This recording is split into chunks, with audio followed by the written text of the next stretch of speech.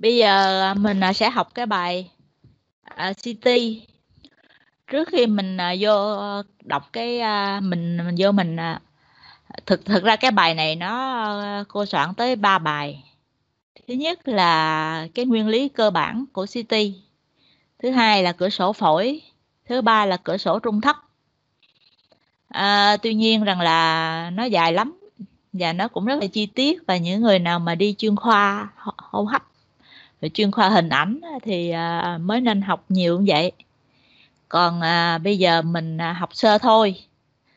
Thì mình chỉ biết là nắm những cái nguyên tắc chung thôi.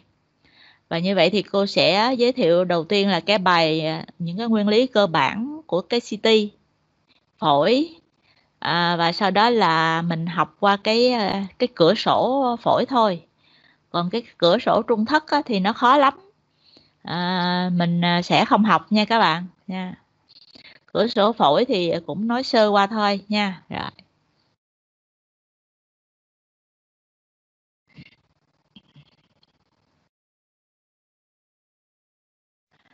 Thì à, đầu tiên á, là năm 1972 á, thì người ta đã à, phát minh ra cái máy CT scan ha à, và 1989 á, thì nó 1972 là bắt đầu người ta nghĩ ra ha. Vì người ta thấy những cái giới hạn của cái phim X quang ngực à, phim X quang nói chung. Và người ta bắt đầu người ta nghĩ ra cái cái máy chụp CT scan nha. Hay còn gọi là cắt lớp à, trước đây á, thì nó có cái máy à, cũng chụp cắt lớp mà nó gọi là tomography nhưng mà nó cũng dựa bằng cái x quang nó không có hiện nó nó nó không có nhiều cái cái bộ phận thu tín hiệu nha. Còn à, từ à, từ à, 1989 tới giờ thì nó mới phát minh ra một cái nó gọi là máy CT đó. Thì nguyên tắc của nó gồm một cái đầu đèn phát tia X và những cái bộ phận thu nhận tín hiệu và nó không uh, như cái trên cái phim X quang thì mình chỉ có một cái tấm bản ghi thôi. Các bạn còn nhớ ha? Thì bây giờ cái bản ghi của nó nó rất là nhiều. Nó gọi là đầu dò ha? Và nhiều và bây giờ là nó tới nhiều dãy đầu dò chứ không phải là nó chỉ nhiều đầu dò mà nó nhiều dãy đầu dò ha.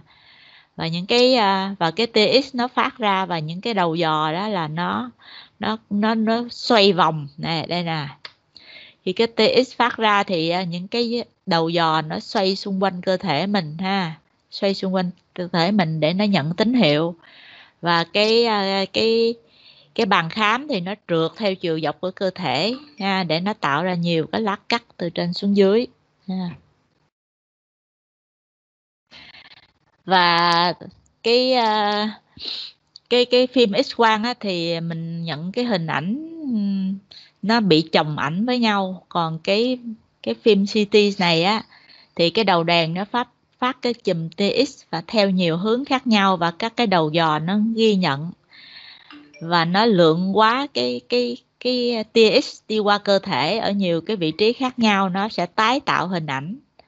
Và tái tạo hình ảnh đó thì nó tạo thành những hàng triệu cái khối lập phương nhỏ, nó gọi là vô cell nha rồi từ cái vô cell này nó mới chuyển thành những cái mặt phẳng cái cơ thể mình là cái hình khối đúng không?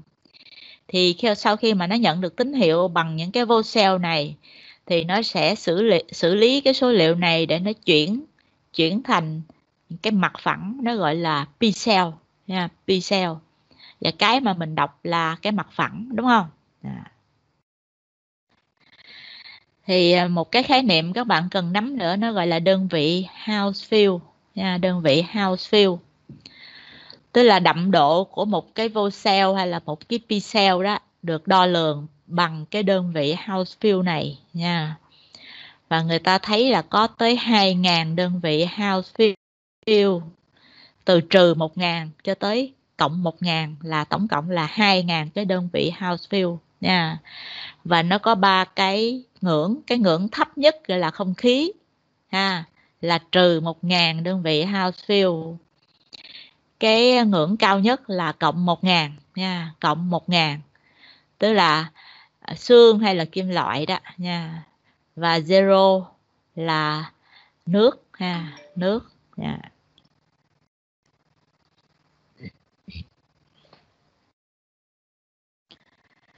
Và như vậy thì tương ứng với những cái house feel khác nhau á, thì mình sẽ biết được cái đậm độ đó cái cái cái cái cái vật cái vật chất nó là cái loại gì à.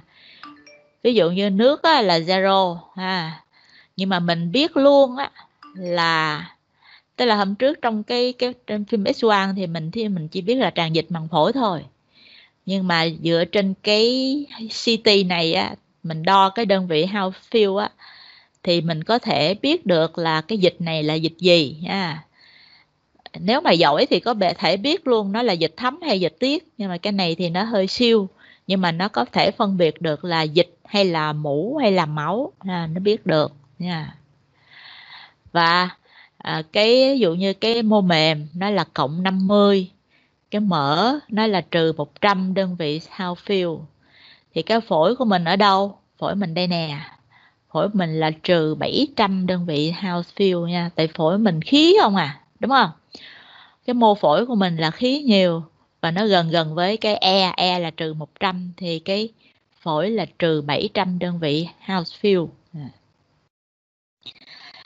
Và như vậy một cái khái niệm kế nữa, đó là cái mắt của người mình á.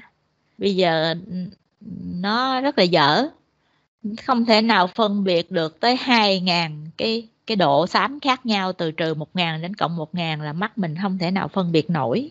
Nha không thể nào phân biệt nổi. Và như vậy là để như để có thể mình con người mình nó có thể nhìn được thì người ta phải dùng một cái khái niệm gọi là đặt cửa sổ. Bởi vì mắt người chỉ phân biệt được có 20, 20 cái độ xám khác nhau thôi.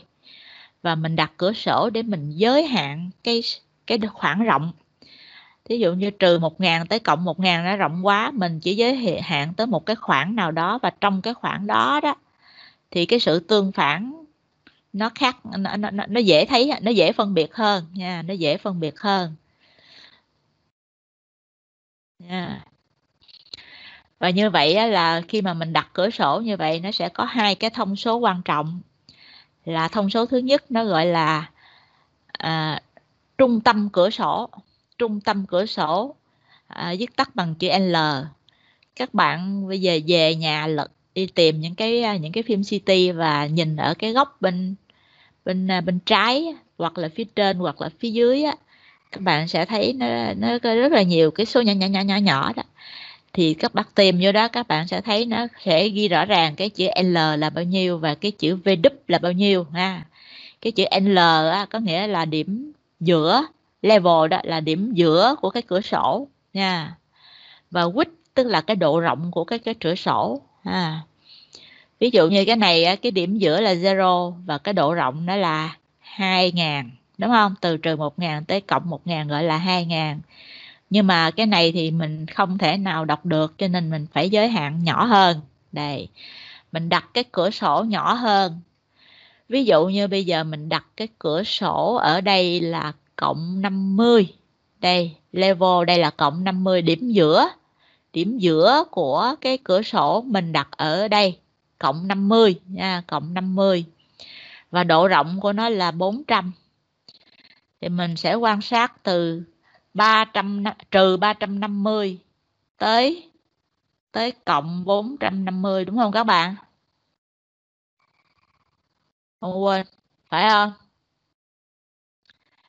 À, độ rộng là dạ, đúng 450 đúng rồi, trừ trừ 350 tới cộng 450.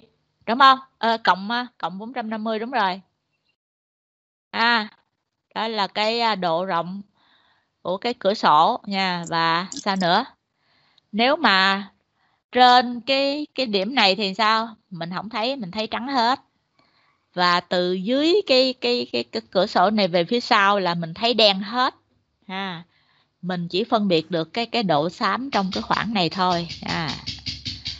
một cái ví dụ khác bây giờ mình à, cũng đặt cái một cái level là 50 ở đây nhưng mà mình muốn coi nó rõ hơn. À, thì mình đặt cái cửa sổ hẹp lại một chút.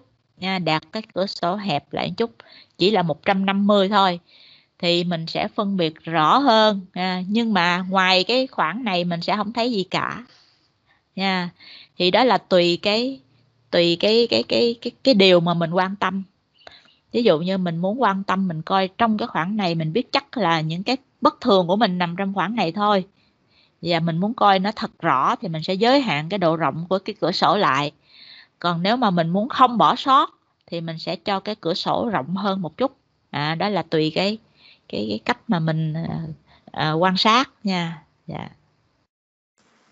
Cô thì sao cô cái cái cái slide nãy cô là cái 400 là cái nguyên cái bề rộng đúng không cô? Thì trên dưới là 200 là từ trừ 150 đến 250 à, cô nói lộn đó. Vậy là trừ 150 tới 250 đúng rồi đó. Bởi vì cô nãy cô thấy sai sai. À đúng rồi. Là trừ à, trừ 150 tới cộng 250 đúng rồi đó. Ha rồi. Thì đó là ngoài cái khoảng đó là à, là mình không thấy được nha. Rồi, rồi. như vậy á, thì à, thực ra người ta cũng có những cái quy ước ha chứ không phải là muốn đặt ở đâu đặt nha thì có những cái quy ước. Thì à, thông thường á, là ở trong cái à, phổi của mình á, sẽ có ba cái cửa sổ để người ta đọc nha. Cửa sổ đầu tiên là cái cửa sổ phổi và cái cửa sổ phổi như vậy là thường nó sẽ đặt là trừ 700 là là cái trung tâm nha. Trừ 700 là cái trung tâm. Và cái độ rộng là cộng 800 à, cái độ rộng là 800 nha độ rộng là 800 độ rộng 800 như vậy tức là trừ 700 rồi trừ thêm 300 nữa là tới ngàn đúng không? À, 400 nữa là là hơn cả 1 ngàn luôn đó hơn cả trừ 1 ngàn luôn đó đúng không? Đó. đó, thì cái độ rộng là rộng 800 đó là mình sẽ quan sát cái cửa sổ phổi, ha.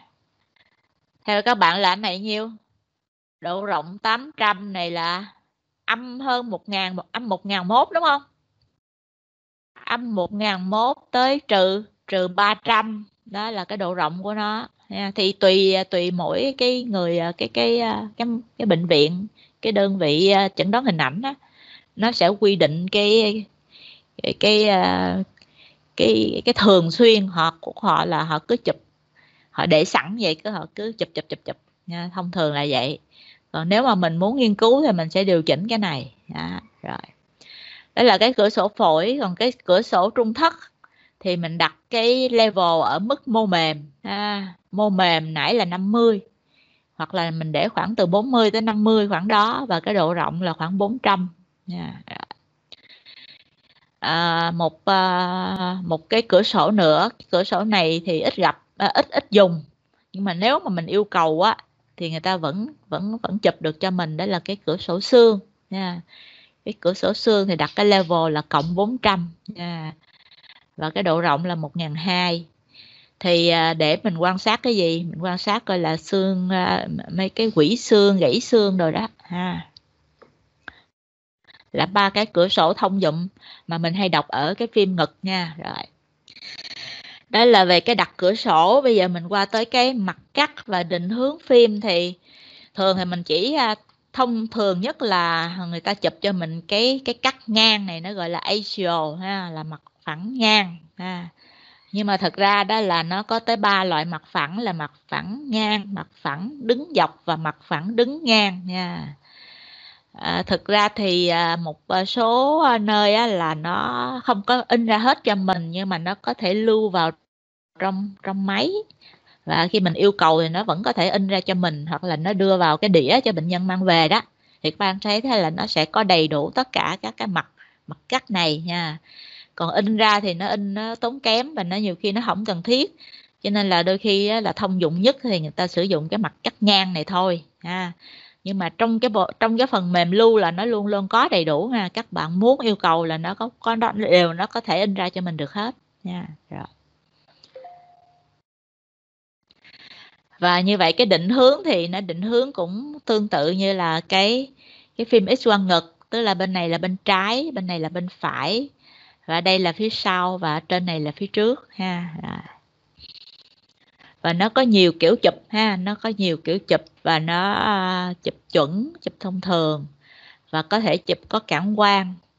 Có cản quan thì à, mục đích là nhằm khảo sát các cái trung thất để phân à, nó tức là nó bơm thuốc cản quan vào cái mạch máu. Thì à, nó khi mà bắt đầu bơm thuốc cản quan vào bơm vào rồi thì nó sẽ tính cái thời gian từ lúc mà bơm cho tới cái lúc cái thuốc cản quang nó đi tới cái vùng ngực. À thì à, mỗi à, mỗi à, mỗi chỗ á, mỗi cái cách chụp á, nó sẽ có cái thời gian khác nhau đúng không?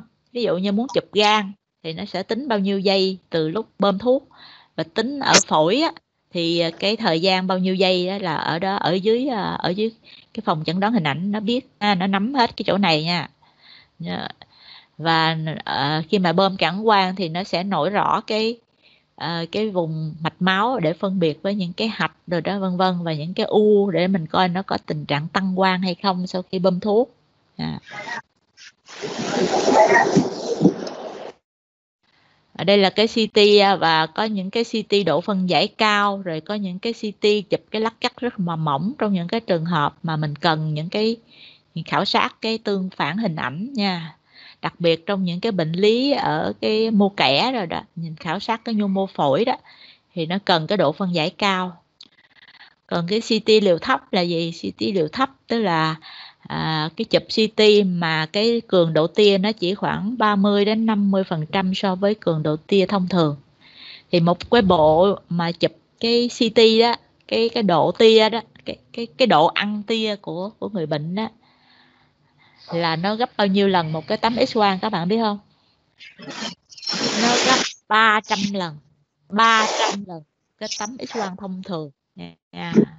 Vậy cho nên là để hạn chế cái chuyện ăn tia trong cái việc mà nó dùng tầm soát ung thư phổi đó, thì có thể sử dụng cái CT liều thấp, ha. Cường độ nó chỉ khoảng 30 phần trăm, ha, để nó tầm soát các cái ung thư phổi đây là cái độ dày của các cái à, cái cái cái à, cái cách chụp khác nhau á? Cách chụp 10 cái cái độ dày nó 10 mm với cái độ dày 1 mm thì các bạn thấy rằng cái độ dày 1 1 với 2 mm thì mình quan sát những cái cái nhu mô phổi nó nó rõ hơn. À, rõ hơn là cái 10 mm ha. Đây là cái chỉ định chụp CT scan nha và chống chỉ định thì à, mình à, sẽ à, lưu ý trong các cái trường hợp là thông thường thì cũng ít có chống chỉ định nhưng mà lưu ý là nếu mà có ờ, ờ, có thai đó ở quên ờ, chụp chụp cản quang á thì lưu ý các trường hợp bệnh thận với dị ứng thuốc cản quang. Còn có thai thì dĩ nhiên là không có được chụp đặc biệt ở ba những cái thai kỳ đầu á à, 3 tháng đầu của thai kỳ á ha 3 tháng đầu thai kỳ á thì hạn chế chụp.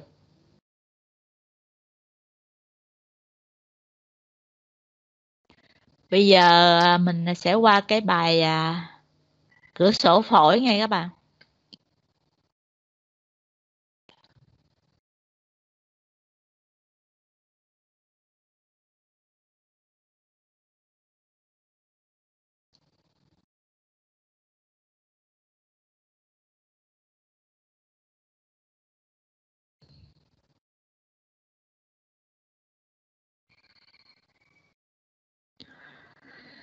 Thì à, trước khi mình đi vô học cái cửa sổ phổi á, tại vì cái cửa sổ phổi là cái cửa sổ mà cái ngành phổi của mình hay hay đọc nhất nha và trước khi mình vô à, cái phần bệnh học đó, mà về cái phần hình ảnh học thì mình phải biết sơ qua về cái giải phẫu bệnh, rồi tới bệnh học, bệnh lý á, rồi mới tới hình ảnh học nha bây giờ đầu tiên là nhắc lại giải phẫu nha tại vì không có giải phẫu và các bạn sẽ không có không có biết cách đọc.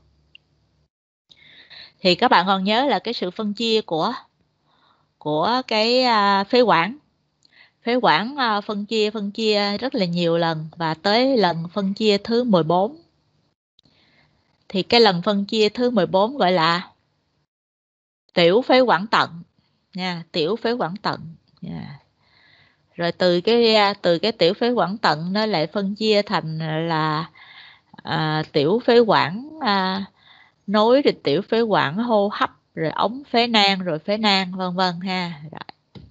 nhưng mà cái quan trọng là mình lưu ý cái này nè tiểu phế quản tận nha tiểu phế quản tận. Và ở cái tiểu phế quản tận từ cái tiểu phế quản tận trở đi á thì nó gọi là cái asinus à, à không. À, asinus asinus là từ đây trở xuống nè ha từ cái tiểu phế quản hô hấp trở xuống nó gọi là asinus nha các bạn. Đây. Đây dễ hơn nè ha đây. Từ cái à, cái tiểu phế quản tận đây.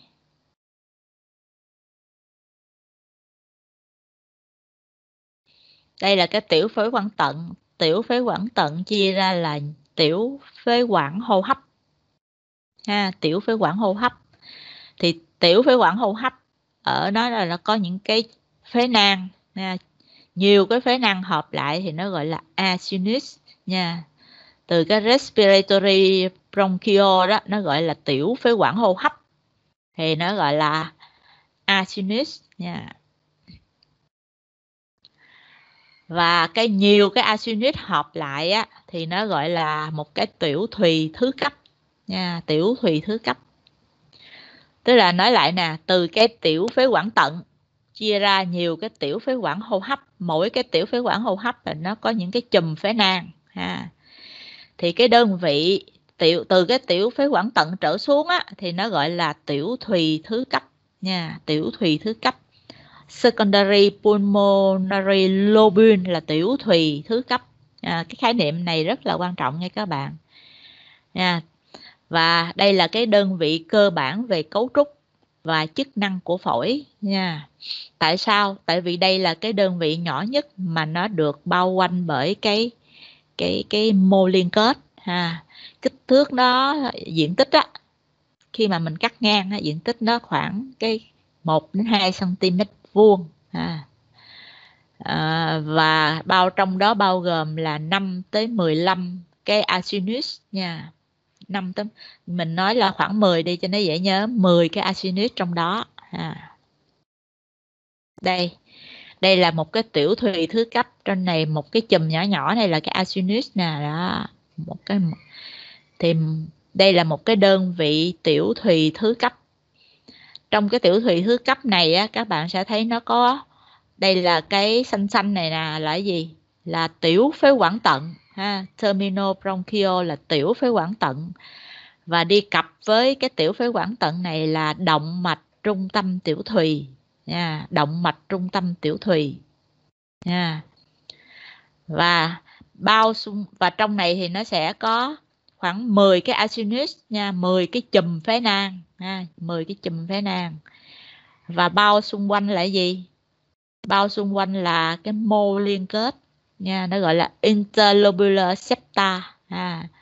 Tức là vách liên tiểu thùy nha, xung quanh này là cái vách liên tiểu thùy hay là vách giang tiểu thùy ha. À, và khi mà mình nhìn trên cái hình ảnh học cắt ngang á mình sẽ thấy một cái đơn vị tiểu thùy thứ cấp này nó có hình như vậy. Là nó hình giống giống như là một cái à, một cái à, lục giác ha.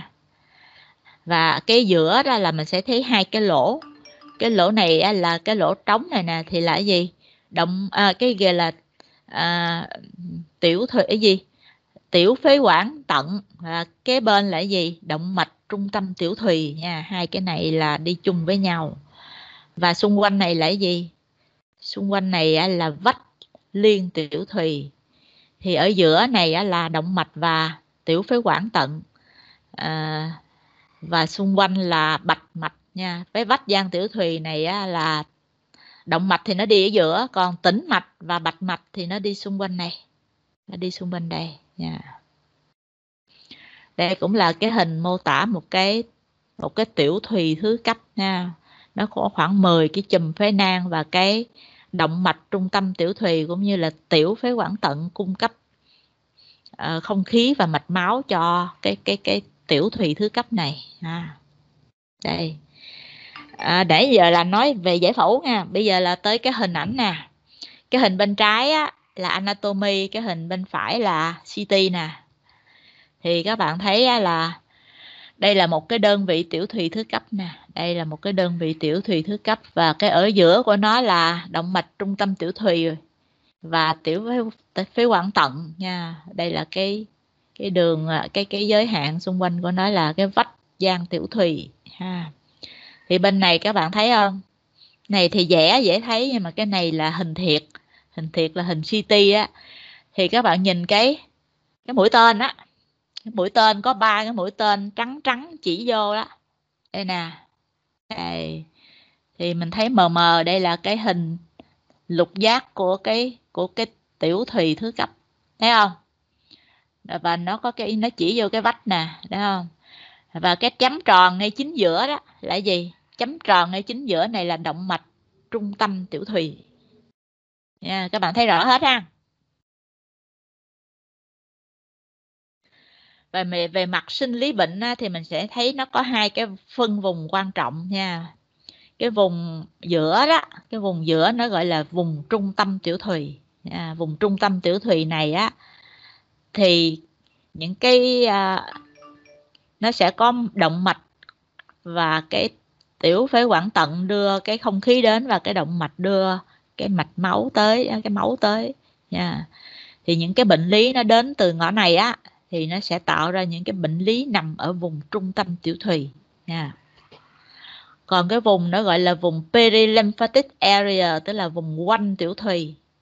Vùng quanh tiểu thùy này nãy nói là là cái lớp mô liên kết và có cái gì bạch mạch và tĩnh mạch chạy ở đây, ha. Và như vậy thì những cái những cái bệnh lý nào mà nó được đưa tới từ bạch mạch và tĩnh mạch thì nó sẽ gây cái bệnh ở cái vùng gọi là quanh tiểu thùy hay là cái vách gian tiểu thụy?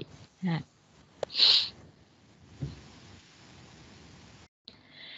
đây cũng là cái hình ảnh tiểu thùy thứ cấp trên CT scan ha. các bạn thấy hai cái mũi tên đen đen đó là nó chỉ vô cái đó là cái vách gian tiểu thùy đó nha. Và cái động hai cái mũi tên mà trắng trắng bự bự này nè, đó, mũi tên đen ờ, thì mình, nó thì chỉ vô cái gì? Động mạch trung tâm tiểu thùy nha hồi đó giờ mình không có để ý vụ này đúng không? Bây giờ về á, mở cái phim CT ra coi để thấy được cái chỗ nào là vách gian tiểu thùy và cái chỗ nào là động mạch trung tâm tiểu thùy. À, chờ cô chút nha. Alo? À, alo? Alo? Không nghe gì hết đó nghe. Nói gì không nghe gì hết đó nghe.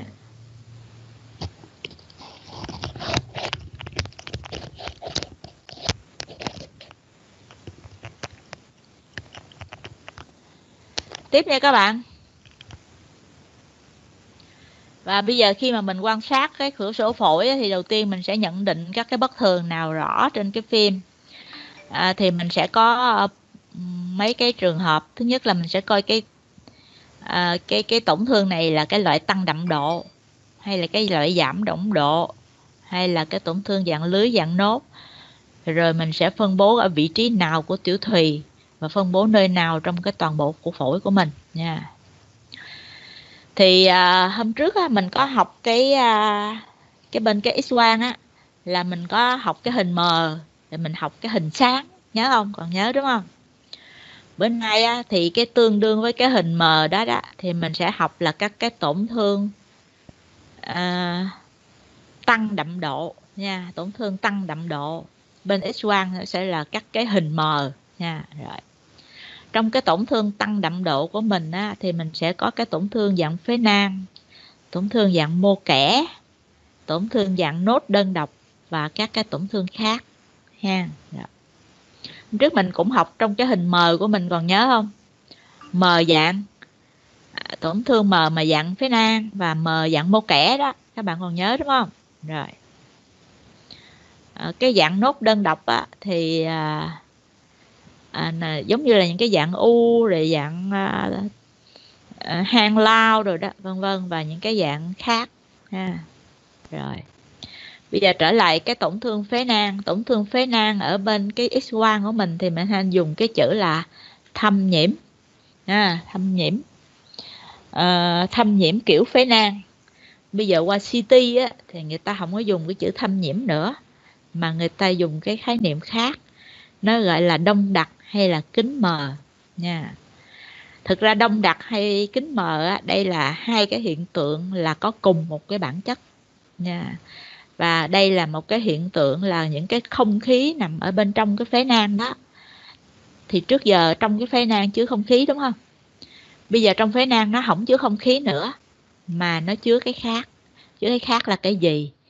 Nó có thể là dịch, là mũ, là máu, là tế bào, là protein, là mỡ, là dịch vị và chất xơ, vân vân là tùy theo cái bệnh nha, tùy theo cái bệnh.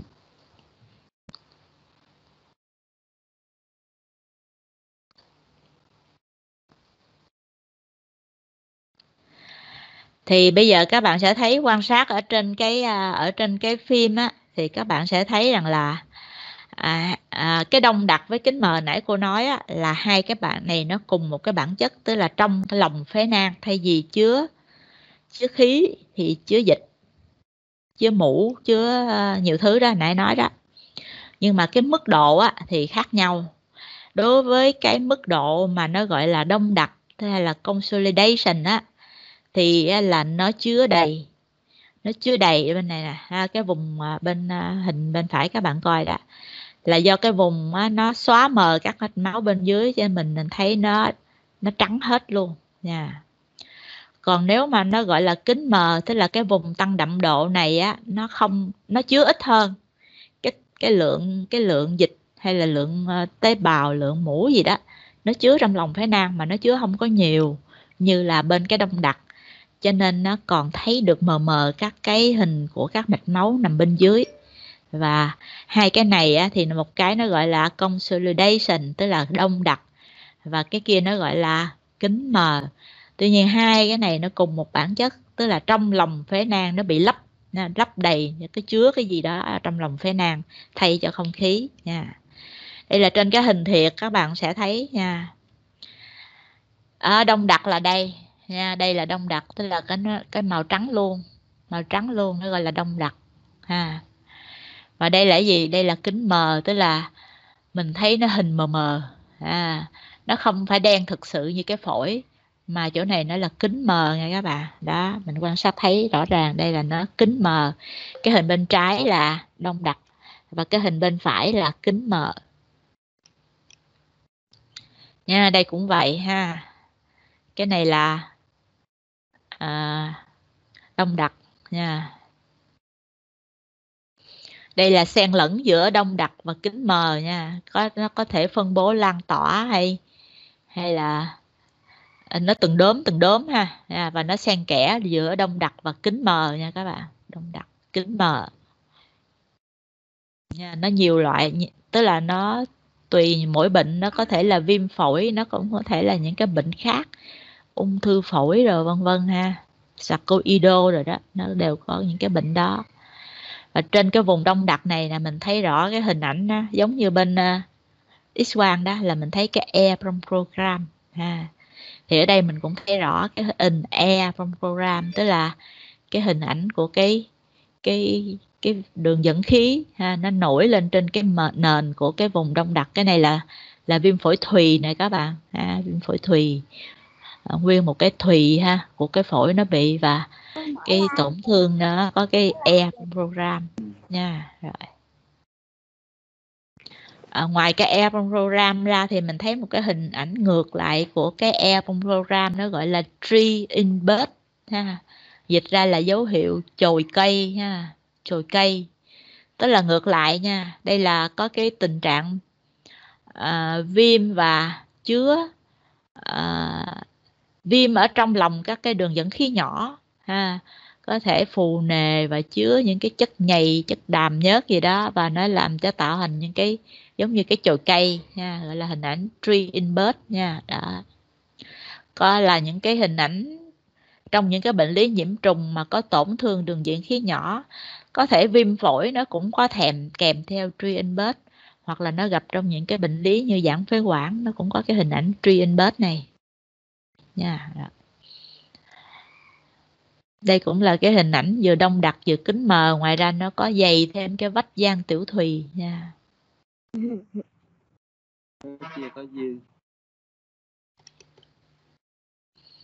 Đây cũng là cái hình ảnh đông đặc kính mờ ha.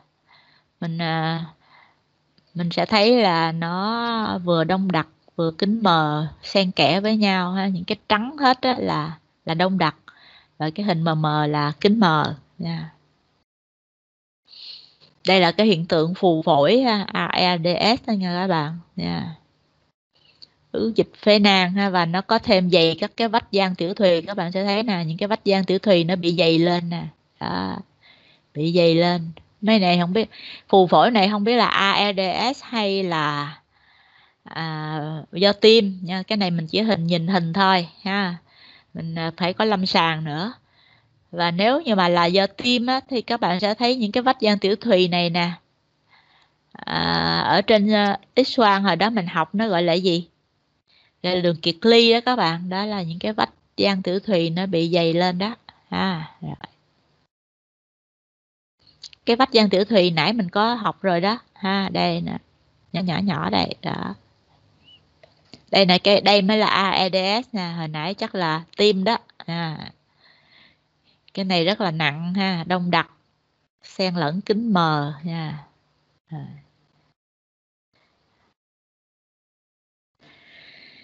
À, đó là cái hình ảnh à, dạng à, phế nang tổn thương phế nang gồm có đông đặc với kính mờ bây giờ qua tới cái tổn thương mô kẻ hôm trước mô kẻ mình có học cái gì các bạn lưới nốt và và lưới nốt còn nhớ ha. Thì mô kẻ ở đây cũng vậy và lưới nó là cái gì? Lưới nó chính là cái những cái vách gian tiểu thùy hay cái vách liên tiểu thùy hồi nãy mình nói đó. À những cái vách này nè nó bị dày lên thì nó sẽ tạo thành hình ảnh lưới nha đó. À, và tổn thương lưới nốt tức là vừa lưới mà vừa có nốt ha những cái nốt này thì cái nốt này người ta cũng sẽ phân biệt là cái nốt này nó nằm ở đâu. Ha, thì có sẽ có ba cái dạng nốt. Cái nốt mà nó nằm ở cái vùng giữa này nó gọi là nốt trung tâm tiểu thùy nha. Hoặc là cái nốt nó nằm bất kỳ ha, nó nằm muốn nằm đâu nằm. Và cái dạng thứ ba nó là cái nốt quanh tiểu thùy nha. Cái nốt quanh tiểu thùy này nó sẽ nằm ở cái ở cái đường màng phổi hoặc là nằm ở dọc theo những cái vách gian tiểu thùy này, các bạn sẽ thấy à, một lát mình sẽ thấy rõ hơn nha. Ngoài ra những cái tổn thương khác như là dày vách trong tiểu thùy hay là dày cái cấu trúc lỗi mạch máu ha, cái này thì sẽ khó thấy hơn nha. Rồi.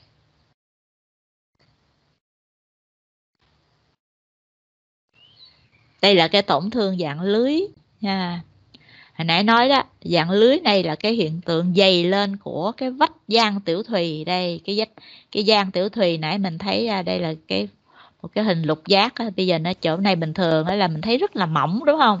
Cực kỳ khó thấy. Và khi mình thấy nó rất rõ ràng đó à, thì nó là dày cái vách giang tiểu thùy. Đây đây mình thấy rất là rõ ràng ha là nó dày cái vách giang tiểu thùy lên đây rất là nhiều cái hình lục giác ở đây thấy không? Đó. Bình thường không thấy bây giờ là thấy rất là rõ đó. Như là một cái mạng lưới đó.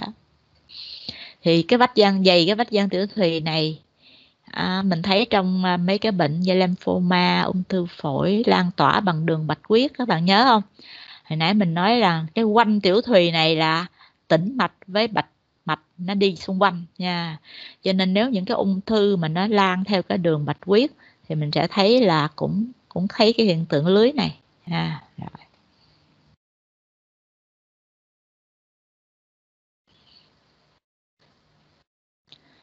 đây cũng là cái cái cái cái cái dày cái vách giang tiểu thùy hồi nãy mình có thấy rồi đó đây là trong cái trường hợp phù phổi do tim nha thì phù phổi do tim ngoài cái tổn thương lắng động ở phế nang, nó còn thêm cái cái dày của cái vách giang tiểu thùy nha dày của cái vách giang tiểu thùy.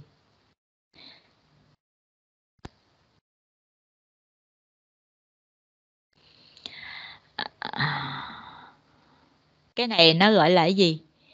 Này gọi là cái tổn thương cái bệnh này vui lắm nó gọi là crazy paving tức là cái gì? Gọi là tổn thương đá lắc đường. Ha đá lắc đường. Đây các bạn thấy hình của cái đá lắc đường ha. Thì cái bệnh này á, nó gọi là cái bệnh lắng động protein phế nang nha cái hình ảnh y chang như cái đá lắc đường. Cái đá lắc đường này tại sao thấy vậy? Đây là những cái vách gian tiểu thùy nó bị dày lên nha và bên trong á, là cái phế nang nó có cái hình ảnh kính mờ. À, cái cái cái cái kính mờ nằm bên trong. Nha. Cho thành ra là cái này nó là vừa vừa dày vách gian tiểu thùy vừa có kính mờ cho nên nó tạo thành cái hình ảnh đá lát đường nha. Đó. Đẹp không? Rất là đẹp. Rồi cái tổn thương kế tiếp nó gọi là tổn thương dạng lưới à, dạng nốt ha thì nốt này á à, nếu mà lưới nốt á, thì có nghĩa rằng các nốt này nó nằm dọc theo các cái đường gian tiểu thùy hoặc là các cái màng phổi. Nha. Đây các bạn thấy những cái lưới á, nó nằm dọc theo dọc dọc. Nếu mà vừa lưới vừa nốt á thì mình sẽ thấy là vừa cái cái vừa có cái dày vách gian tiểu thùy và và nó không có smooth nữa cái vách gian tiểu thùy à, hồi nãy trong cái cái cái tổn thương dạng lưới thì nó smooth tức là nó trơn ha. Còn cái dạng gọi là lưới vừa vừa vừa, vừa, vừa lưới vừa nốt á thì cái vách gian tiểu thùy nó sẽ à, vừa dày lên và vừa có hột hột hột ha nó gọi là lưới cộng nốt nha. Nha đây là lưới nè dày vừa dày lên và nó không có smooth nó có nốt nốt nốt nốt trên đó. Nha gọi là lưới nốt nha. Còn cái này là nốt không à tức là cái vách gian tiểu thùy nó không có dày. Nó chỉ có cái nốt không thôi à. Nhưng mà cái nốt này nó sẽ phân bố ba kiểu nha.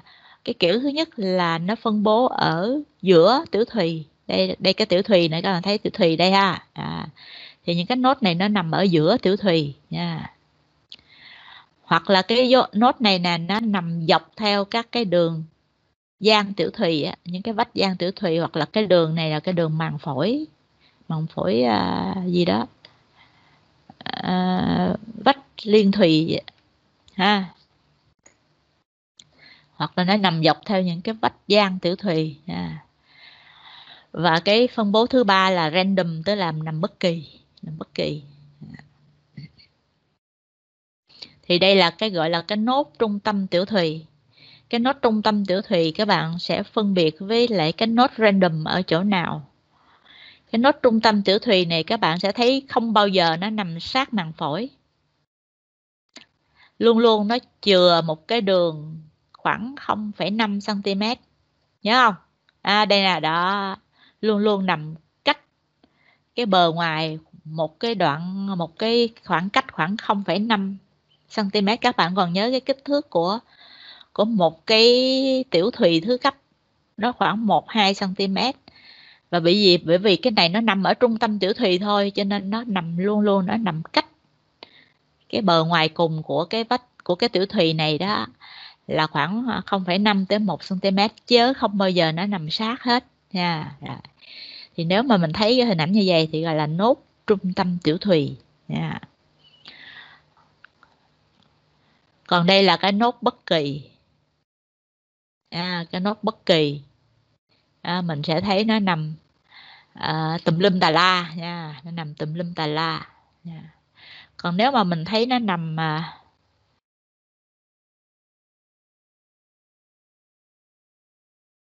à, vậy là thiếu cái hình à, cái nốt mà nằm dọc theo à, nếu mà cái nốt mà nó nằm dọc theo cái cái quanh tiểu thùy thôi nè thì nó gọi là perilymphatic nó có ba cái kiểu nốt này các bạn. Rồi. Bây giờ à, xong cái cái cái khái niệm thứ nhì nha mình vừa học qua hai cái. Đầu tiên là tổn thương à, phế nang gồm có đông đặc kính mờ. Thứ hai là tổn thương mô kẻ gồm có tổn thương lưới tổn thương lưới nốt và tổn thương nốt. Trong cái tổn thương nốt thì có ba cái phân bố của nốt nốt trung tâm tiểu thùy nốt bất kỳ và nốt quanh tiểu thùy nhớ không? Rồi bây giờ qua cái tổn thương đậm độ thứ ba đó là u u phổi hay là nốt phổi đơn độc nha. Thì à, à, cái phần này á, mình à, sẽ không học nha. Lướt qua bởi vì sao? Bởi vì à, này bài này phần này cô sẽ nói kỹ hơn ở cái bài u phổi nha u phổi. Bây giờ mình học qua cái khác. Những cái trường hợp khác như là nấm phổi đây ha nấm phổi mình cũng thấy cái hình ảnh cái liềm cái liềm giống như hôm trước mà mình à, coi ở bên cái à, nắm mắt bacillus á mình coi cái, cái hình ảnh lục lạc các bạn còn nhớ đúng không? Đây là cái cái nấm phổi ha có cái hình, hình liềm rất là rõ nha.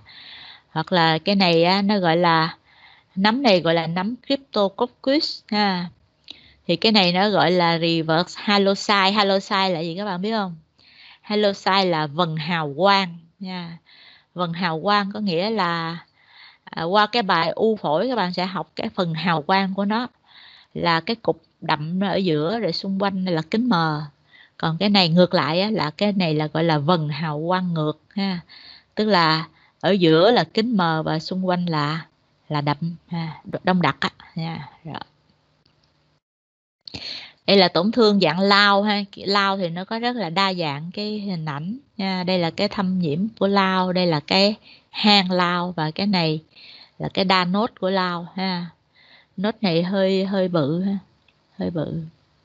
Ha ở cái nốt của lao nó mịn hơn nữa đó. À. Đây là cái hình ảnh nhồi máu phổi ha nhồi máu phổi. Đây. Thì các bạn thấy là những cái đông đặc mà nó nằm cạnh màng phổi và nó có cái hình như là cái hình chêm ha, à, thì đây là cái hình ảnh nhồi máu phổi. Ha, nhồi máu phổi. Chứ nó không phải u phổi à. không phải u phổi và lâm sàng á, là bệnh nhân không có sốt không gì hết không phải viêm phổi à cái này là hình ảnh nhồi máu phổi thôi. Cái này là xẹp phổi nha xẹp phổi. À, nó cũng có đông đặc nhưng mà những cái đường à, à, những cái đường à, của cái à, vách à, gian tiểu thùy à, với là những cái vách à, liên thùy nó bị kéo về phía đó nó bị kéo về cái phía xẹp phổi đó. À, một cái cũng khá là thú vị nó gọi là xẹp phổi tròn ha. Thì ở trên CT chúng ta thấy có thể thấy những cái dạng mình tưởng là ung thư phổi tại vì thấy nó tròn. Nhưng mà cái cục tròn này á nó nó có cái đuôi đuôi sau chổi nha nó đuôi sau chổi và luôn luôn là nó nằm cạnh màng phổi và nó nằm ở đáy phổi à, nằm đáy phổi cạnh màng phổi và nó có những cái đuôi sao chổi. Giống như nó bị xoắn nó bị xoay nó bị vặn lại đó. À, thì nó đều là xẹp phổi tròn. Dạ. Nha rồi đó là mình học xong về cái à, hình mờ tức là tổn thương tăng đậm độ ha. Bên x-quang nó là hình mờ bên CT nó là tổn thương tăng đậm độ. Bây giờ mình học qua cái phần tổn thương giảm đậm độ nha tổn thương giảm đậm độ thì mình sẽ học mấy cái là hình ảnh như là khí phế thủng, bóng khí, cán khí giãn phế quản. Thì khí phế thủng là gì? Mình học bên khí phế thủng bên x-quang rồi, đúng không? Khí phế thủng là những cái vùng sáng mà không có không có giới hạn. Vùng sáng nằm ở ngoại biên, không có giới hạn, đúng không? Không có giới hạn gì cả, là do cái gì? Là do những cái phế nang nó bị ứ khí, nó bị giãn, nó bị ứ khí ha. nhưng mà nó vẫn còn là cấu trúc phổi chứ nó không có phải là mất cái cấu trúc phổi. Và nó không có cái đường bờ xung quanh nó không có cái đường bờ xung quanh. Còn cái bóng khí á, là những cái vùng sáng. Bóng khí là những cái vùng sáng tròn ha, và kích thước nó lớn trên 1 cm và nó có cái thành những cái thành nó rất là mỏng. Còn cái kén khí á, thì cũng là những cái vùng sáng chứa khí nhưng mà cái kích thước nó cũng là những cái vùng sáng tròn chứa khí nhưng mà cái thành nó tương đối dày nha, tương đối dày. À, tổ ong là nhiều cái kén khí nằm cạnh nhau thì nó tạo thành cái tổ ong ha. Còn cái hang thì cái này là thường là cái hang do lao phổi hoặc là cái hang do cái ờ, nhiễm cái con ờ, staphylococcus tức là những cái vùng sáng cái cái thành rất là dày và nằm giữa cái mô phổi à, nhưng mà trong lòng cái hang thì không có dịch. Còn cái ổ áp xe thì cái lòng của cái hang là chứa cái mức khí dịch nha. Cái thành nó cũng dày luôn đó.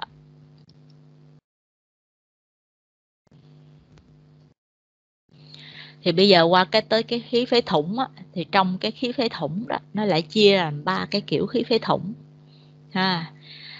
Thành ra họ, lúc đầu các bạn nhớ các bạn thấy cái khái niệm tiểu thùy nó cực kỳ quan trọng thấy không? Ở bất kỳ những cái tổn thương nào nó cũng đều đặt gặp lại cái tiểu thùy này à, thì các bạn thấy bây giờ khí phế thủng này nó cũng phân chia là khí phế thủng trung tâm tiểu thùy khí phế thủng toàn tiểu thùy và khí phế thủng cạnh vách ha. ba là ba kiểu khí phế thủng à.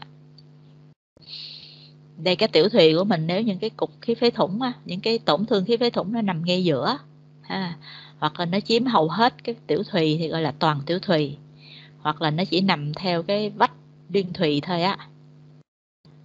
Thì nằm cạnh màng phổi á, thì nó gọi là phía phế thủng cạnh vách nha các bạn. À, đây là cái khí phế thủng trung tâm tiểu thùy nha. Đây mình thấy nó nằm ở trung tâm tiểu thùy nha. Còn đây là nó chiếm gần hết cái tiểu thùy luôn. À, và đây là nó nằm cạnh bách, à, nằm cạnh bách. Ở giữa cũng có nhưng mà à, à nó có khuynh hướng nằm cạnh bách nhiều. À. đây là cái khí phế thủng trung tâm tiểu thùy. Các bạn thấy là một cái hình ảnh một cái tiểu thùy thứ cấp ở đây. Và những cái à, những cái khí phế thủng là những cái gì? Những cái đen này nè nó gọi là khí phế thủng nè. Cái tổn thương đen đen thui này nè nó gọi là khí phế thủng. À, thì nó nó nó tô lại cho mình đó đây là cái màu đỏ là cái động mạch trung tâm tiểu thùy ha. Và những cái vòng nó tô lại màu xanh chung quanh á gọi là khí phế thủng trung tâm tiểu thùy. Đây các bạn sẽ thấy đây là cái khí phế thủng trung tâm tiểu thùy ha. Các bạn thấy những cái hình đen lấm đốm đó, đen lấm đốm nhỏ nhỏ nhỏ nè. Đó. Đây là khí phế thủng trung tâm tiểu thùy nha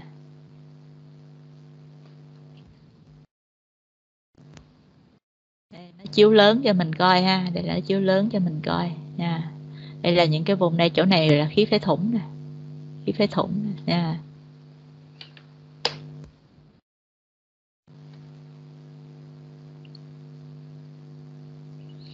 Thì đây là nó tô lại cho mình ha. Cái này là ven, cái này là động mạch trung tâm tiểu thùy và đây là những cái khí phế thủng nè.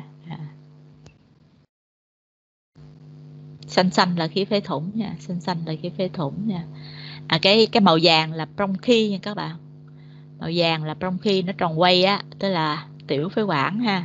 Còn cái khí phế thủng là nó màu đen và nó những có những cái hình uh, uh, bất kỳ đó. Ha rồi.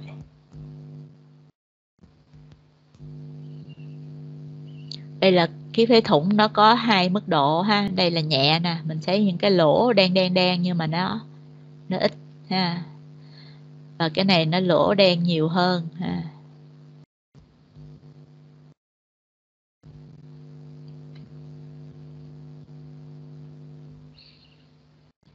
Cái này là khí phế thủng toàn tiểu thùy ha các bạn. Thì đây này nó chiếm hết cái tiểu thùy luôn. Ha nó chiếm hết cái tiểu thùy luôn. Đây là cái khí phế thủng toàn tiểu thùy. Nha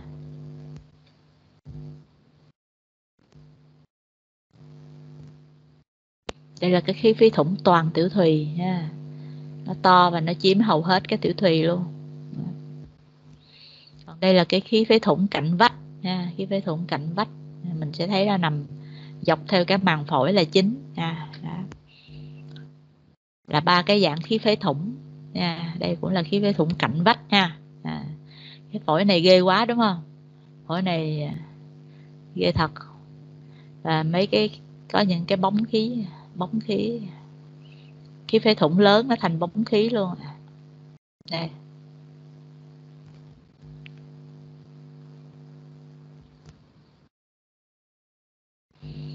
Và đây là phân à, biệt cái khí phế thủng cạnh vách. Với lại cái hơn này camping là cái này nó gọi là kén khí à, quên cái này là gọi là tổ ong. Tổ ong là nhiều cái kén khí nằm cạnh nhau ha nhiều kén khí nằm cạnh nhau gọi là tổ ong.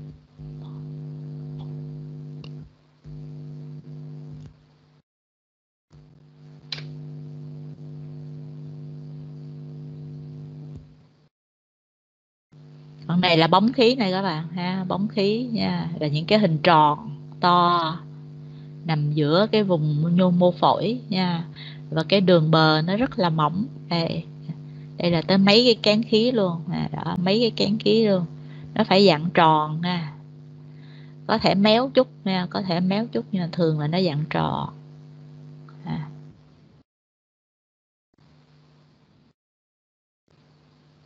không? Đó và cái này là nó muốn viêm luôn á, thành ra cái thành nó dày nè đó.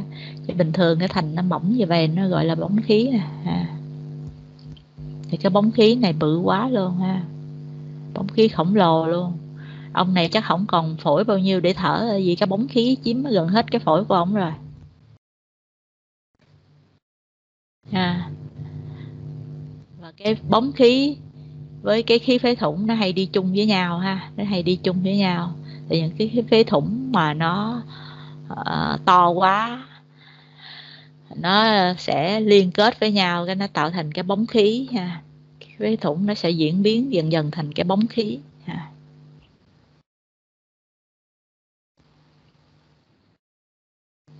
Còn đây là cái kén khí ha. Kén khí thì cái bờ nó dày hơn ha. kích thước nó thường nhỏ hơn và cái bờ nó dày hơn nó do cái hủy hoại cái nhu mô phổi trong đây. À, nó tạo thành những cái kén khí. Kén tức là kiss đó các bạn. Kiss đó. À, đây là những cái kén khí.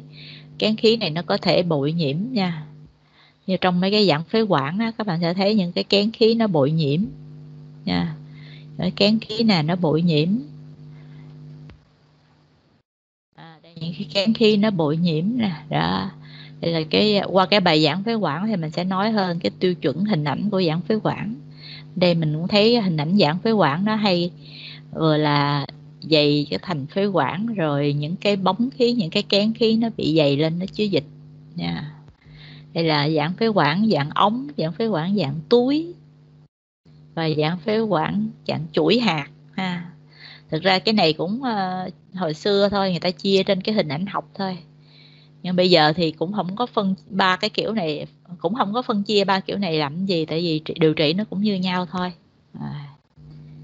rồi hết nha. Tức là nói sơ qua cho các bạn về cái à, uh,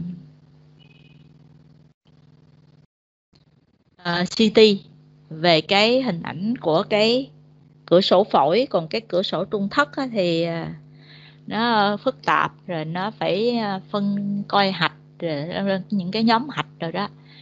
Thì nó khó hơn và mình cũng à, cũng khó thực hành lên lâm sàng lắm. Nếu mà các bạn coi không quen thì coi cái à, cái hình ảnh phổi được rồi nha. Còn cái hạch á thì cái hình ảnh trung thất á, thì thường để bên chẩn đoán hình ảnh tại vì người ta có thể đo được cái đậm độ how feel của của từng loại rồi đo được cái độ tăng quang thì người ta coi người ta thực hành trên máy người ta người ta đọc dễ hơn. Còn mình cầm cái tấm phim á, thì mình coi cái cửa sổ phổi nó dễ hơn. À, rồi. Ở cái cửa sổ trung thất thì mình cũng có thể coi được nhưng mà nó sẽ hỏng bằng. À, rồi. Như vậy tóm lại là trong cái CT này á, các bạn sẽ thấy là à, chúng ta sẽ học được cái gì? Cái hai cái tổn thương quan trọng đó là à cái nhắc lại là cái tổn thương quan cái cái giải phẫu bệnh quan trọng á, là cái à, à, tiểu thùy thứ cấp ha các bạn nhớ nha cái tiểu thùy thứ cấp đó là cái cực kỳ quan trọng trong cái hình ảnh học của phổi nha. Và mình sẽ nhận định uh, cái tổn thương nó là tăng đậm độ hay là giảm đậm độ nha. Nãy giờ các bạn học rồi đó. Yeah. Giờ các bạn có hỏi gì thêm không?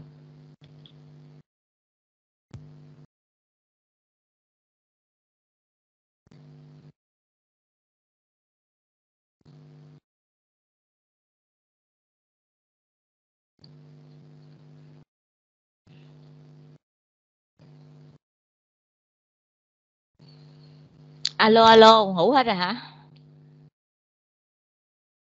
Dạ khó quá không chưa có thấm lắm đâu. Hả?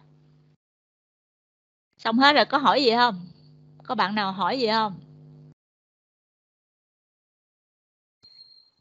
Dạ thưa cô cô cô, cô là cho bọn em uh, bài giảng để bọn em nghiên cứu thêm được. Dạ, khó quá. Khó quá. Rồi cô sẽ gửi bài sau nha dạ cảm ơn cô ạ. Giờ mình nghỉ đây ha. À, thứ à, tư là mình sẽ học cái bài à, hen nha. Các bạn chuyên có hai trình đúng không? Dạ. Yeah. cũng 8 giờ 30 ha. Dạ dạ. Rồi nghỉ nha. Chào các bạn. Dạ, dạ. cô ạ